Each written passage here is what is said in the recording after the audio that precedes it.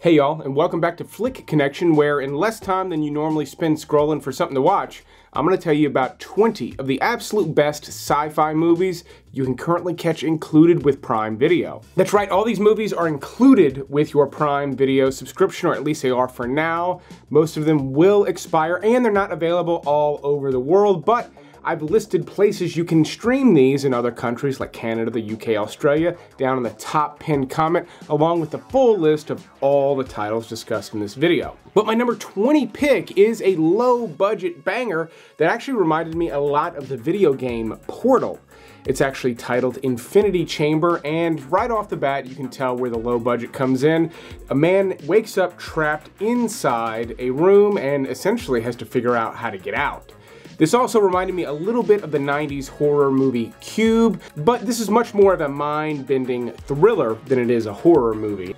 In fact, there are a bunch of flashbacks and even sort of a love story that develops, so there's a lot of meat on the bone with this movie, even though it's a fairly low-budget sci-fi effort, which are rarely excellent. Infinity Chamber just happens to be the exception to that rule.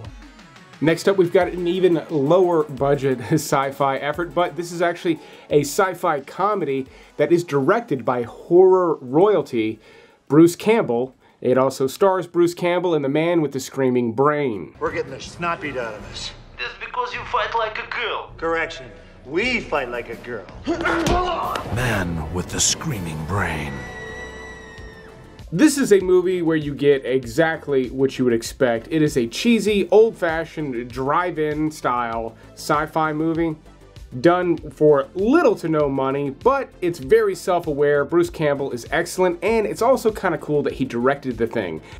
You either need to be an exceptionally adventurous viewer to check this one out, or just a fan of Bruce Campbell and the Evil Dead movies or anything else he's done, because this fits right in that wheelhouse.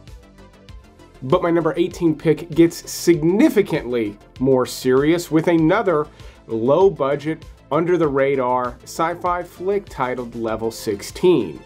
Now, this too is a bit of a mind bender. It's hard to tell what exactly is going on from the start. In fact, you spend most of the movie trying to figure out the reality of the situation of these young girls in level 16. Because obviously you've got a bunch of young girls trapped inside some sort of facility where they're being controlled, and it's hard to tell if it's in their best interest or if there's something more sinister going on, and as you would guess, it's it's something sinister, but this movie's not nearly as off-putting as the concept might allude to. It's actually fairly accessible, especially if you want kind of a mystery movie. This one leans much harder on the mystery aspect than it does sci-fi.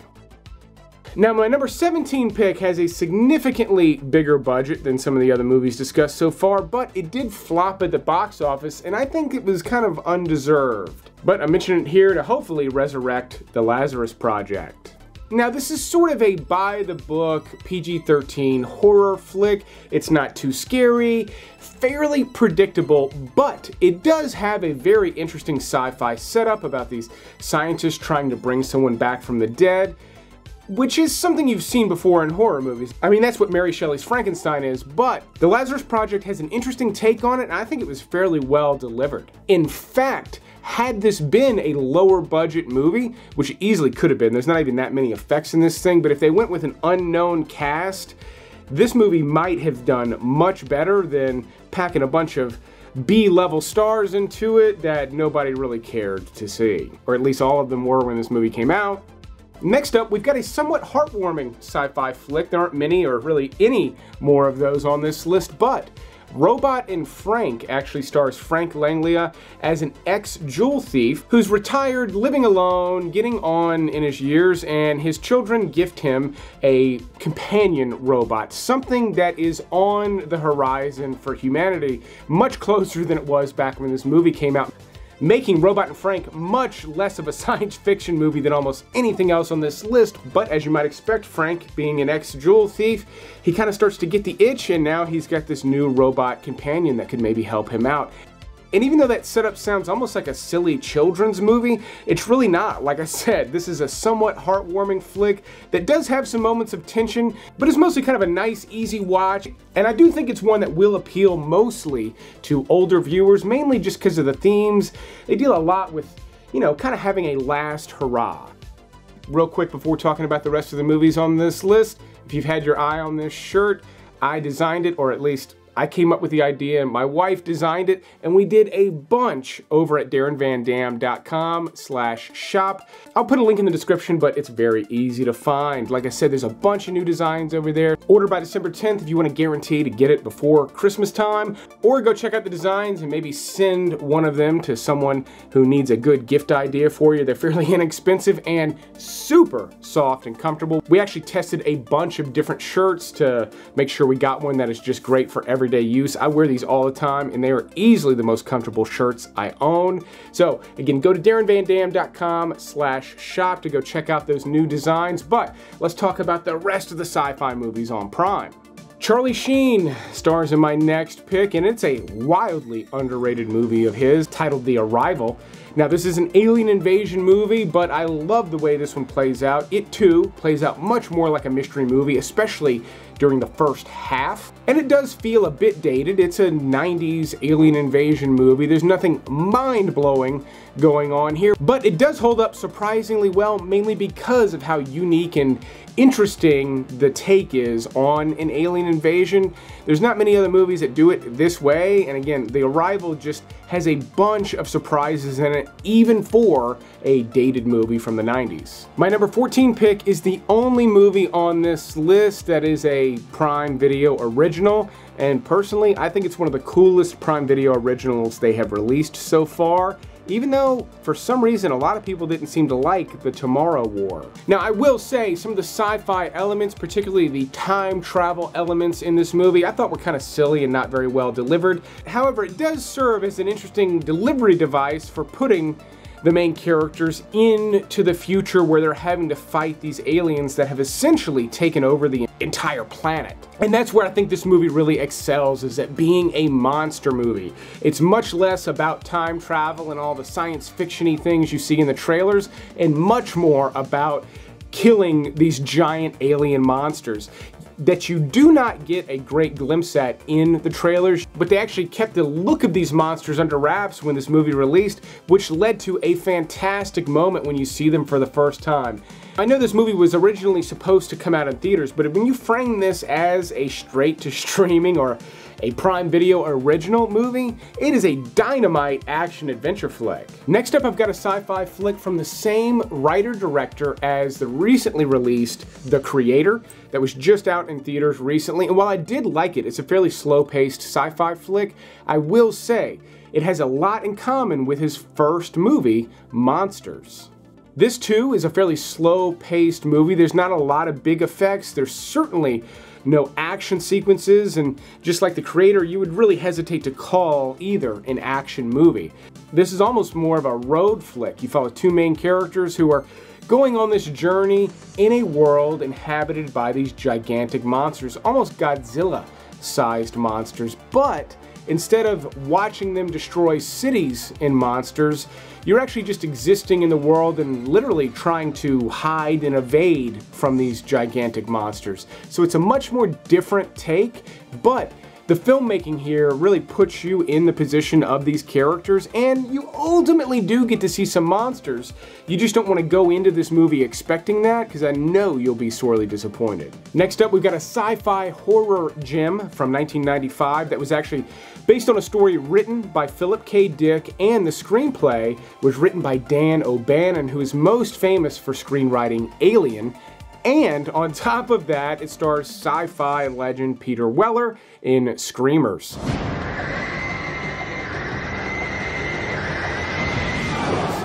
Now this takes place on a distant planet. You actually follow mostly military people who are combating these screamers. These little machines that run underneath the surface of the ground and kill you. Basically killer drones before we really had a good idea of how killer drones might work.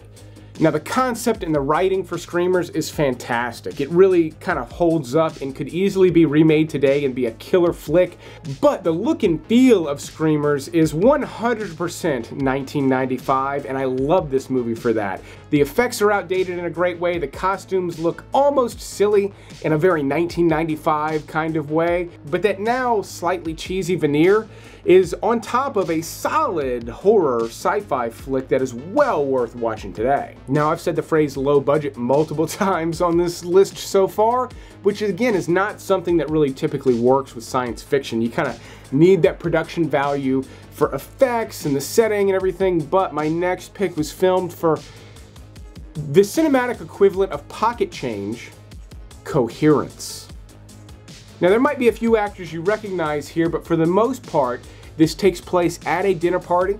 It was filmed very down and dirty. It looks like it was filmed with a flip phone practically, but the story is so gripping that it landed in the middle of a list full of fantastic movies. This dinner party actually occurs as a comet is passing Earth and the people at the party begin to notice strange things happening. Now, that's really all I want to tell you, but as you can tell from the clips here, there's nothing overtly science fiction visually.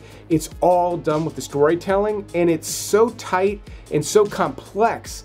It's almost a Christopher Nolan level sci-fi flick just not with the filmmaking technique that you might expect from Nolan. However, the down and dirty filmmaking here actually makes Coherence feel even more realistic than I think it otherwise would have. Okay, my next pick on this list is another low budget effort, but it did such an amazing job with world building that I desperately hope we get to see a sequel to Freaks. You gotta be strong like your mom was. You knew my mom?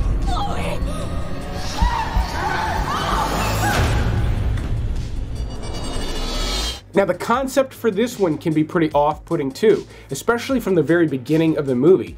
Emile Hirsch plays this kind of crazed father who's keeping his young daughter locked up in a dilapidated house. But the reason why is fascinating and the road to understanding why is really well done in Freaks. Now there are some special effects that work really well and there are some that I don't think work very well at all in Freaks, but the core story and everything works so well that I don't mind at all. This is a really cool flick. It's got some dark, twisted, elements, but again, nothing too off-putting. This is a fairly accessible flick. Bruce Dern has a really kind of creepy but cool role in this as well.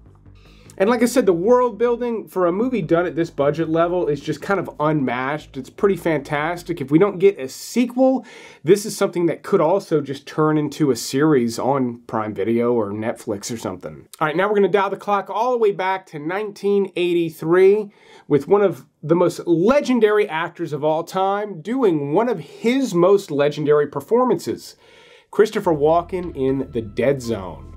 Now, this is based on a book by Stephen King, and even though it wasn't one of his more popular movies during that era, I think it has held up better than a lot of older Stephen King movies have. Christopher Walken plays a man who awakens from a coma and discovers he has this new ability to predict or at least see the future when something bad is going to happen. And the movie is top-notch stuff. It was actually directed by David Cronenberg before he really went in some bizarre directions in the 80s, actually making it one of his more accessible movies. This movie also led to what might be Christopher Walken's second best Saturday Night Live sketch. You're gonna get an ice cream headache. It's gonna hurt real bad. Right here. My number eight pick is a big budget new release that I absolutely loved A Quiet Place Part 2. Now, I was a fan of the original. I don't care about some of the plot holes. I love the way John Krasinski actually directed that movie and thought it was just a top-notch thriller horror movie hadn't seen anything quite like it since M. Night Shyamalan first started making movies. And part two was an excellent follow-up. It takes place in the same world, it feels very much like a part two and not just a sequel where they're trying to recapture the magic of the original. The story actually just continues on seamlessly in a way that I thought was just absolutely killer. Emily Blunt carries the movie. She's really amazing in it, but the introduction of Cillian Murphy in this movie was particularly good, and it just has some harrowing sequences in it. I think both of those movies are fantastic, and we've got another one that is actually somewhat of a prequel on the way next year. My number seven pick kind of feels like a 1980s after school special with a high body count and a lot of blood. Turbo Kid takes place in a dystopian, post-apocalyptic future, but instead of a Mad Max type movie, you get something that almost feels like it was made for children. And then when the violence kicks in, it is just this bloody, over-the-top, glorious mess that I absolutely love. It's got this retro synthwave soundtrack that's really cool. Duels to the death, lasers, saw blades, cowboys, it's got almost everything you could want and it's jammed together in a way that actually works. It's humorous, but also has plenty of tension and you're rooting for the main characters. It's not just silly nonsense. If you're the least bit interested in the vibe that I'm describing and showing you here, Turbo Kid is a total gem. But at the same time, if you don't feel like you'll connect with it, maybe because of when you were born, um, I'm not sure if Turbo Kid is going to be the movie for you. All right, now we're in my top six, and Rutger Hauer has got a flick that has been on Prime Video, I think since I started reviewing movies on YouTube, and it is still there, and I still highly recommend Split Second. Now, this is one that time has largely forgotten, but it too is kind of a bloody sci-fi horror flick. This takes place in a future where London is essentially flooded. They kind of set it up where most of the city is flooded and then you ultimately don't see a whole lot of it. The vehicles are just driving around in shallow water. But it's in the future. They've got massive guns and they're investigating a murder or series of murders that appear to have this cult type vibe. Rutger Hauer is just a badass. He's got this cartoonish kind of look in the movie that is just totally cool. Kim Cattrall has a pretty meaty role in this back when she was young, well before Sex in the City. And there is something very wicked at work in this movie. This is not just a murder investigation movie. There is a science fiction element, and it gets revealed, and it is a wild one. But unlike Turbo Kid, which is fun and colorful when it's bloody, uh, Split Second can be pretty gross and disturbing at times, but if you want to watch a sci-fi horror movie with gigantic guns and just a badass Rutger Hauer and something super sinister behind the scenes, then Split Second is going to be right up your alley. Then my next pick, all the way from 1953, one of the most classic drive-in sci-fi movies of all time, War of the Worlds. Now, obviously, there have been remakes of this movie, some terrible. Spielberg did one that I thought was pretty decent, but the original movie still holds up today as a really cool 1950s flick. Right from the jump, it looks and feels like a classic drive-in movie. It's been remastered, it looks incredible today, and the action in it when they're fighting the aliens. Yes, it looks like a 1950s movie, but it's super cool and it's all glued together really well, making it a fantastic rewatch here in 2023. And yes, even though it's essentially a war movie and there's a relatively high body count, the movie itself is non-graphic, it's rated G, meaning this could make a good family watch, especially as a good way to introduce your kids to what movies used to be like. War of the Worlds is still a great one. And then my number four pick is easily one of the most visually stunning sci-fi movies I've seen in the past few years, maybe second to Avatar, Valerian in the City of a Thousand Planets. This is actually directed by Luc Besson, who's most famous for Leon the Professional, La Femme Nikita, but he also did The Fifth Element, and this movie has a lot in common with The Fifth Element. One being, there's a lot of stuff in this movie that doesn't work. I would say the same thing about The Fifth Element. There's some sloppy elements, but he's able to make up for a lot of that with the visual style. And I say style, I don't say storytelling. The storytelling here is pretty good but the visual ride that they take you on is, again, maybe topped by the most recent Avatar movie. It really is a visual feast from scene to scene. He keeps putting you in wildly different worlds, and there's always something interesting going on. Overall, the movie is not just a total banger. I don't love the story, it's just kind of okay. But the experience of watching it is just kind of unbelievable and really, even though it flopped at the box office, I think deserves a lot more. Number two pick for the best sci-fi movies on Prime Video right now was one of my favorite movies of 2022, Jordan Peele's Nope. Here we go.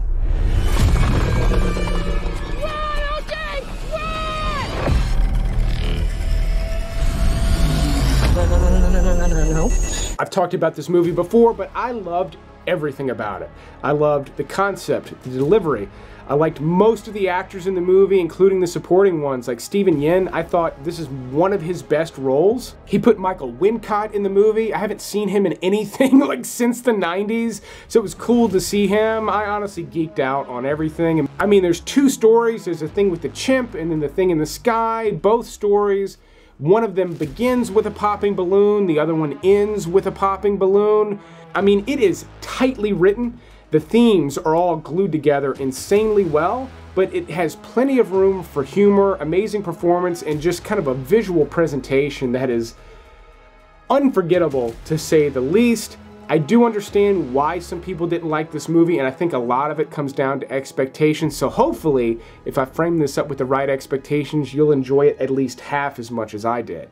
And then my number one movie on this list is bound to piss some of you off, but it's animated and it's one of the best anime movies of all time, making it wildly accessible for a broad audience. Ghost in the Shell. Now, the way I do these lists, I find all the movies first and then I go about sorting them, and I could not not put this movie at the top of the list. It is absolutely incredible, and it doesn't matter if you like anime, if you've never seen it, you don't understand anything about it, you don't need to. All you need to know is that the filmmakers decided to animate this movie instead of filming it, and when you watch it, there are obvious reasons why, mainly because when this came out, there was no way to convey a story visually this way on film. It would have been insanely expensive, so back then you would have to animate something like this. I mean, the remake they made with Scarlett Johansson is okay, I like it, and then visually it looks good, but it doesn't come close to looking as good as the animation style does in the original. And this is one of only a few anime movies I would actually recommend as being like your first one to watch. So if you've never gotten into it, and even if you don't have a desire to get into anime, you just want to watch a good sci-fi flick, Ghost in the Shell is a fantastic way to go. But that is the list. Don't forget to go check out DarrenVanDam.com if you want to see all the new t-shirt designs over there. But I will keep making videos as long as you keep watching them. Thanks for checking out this special sci-fi episode, and you will see me on the next one.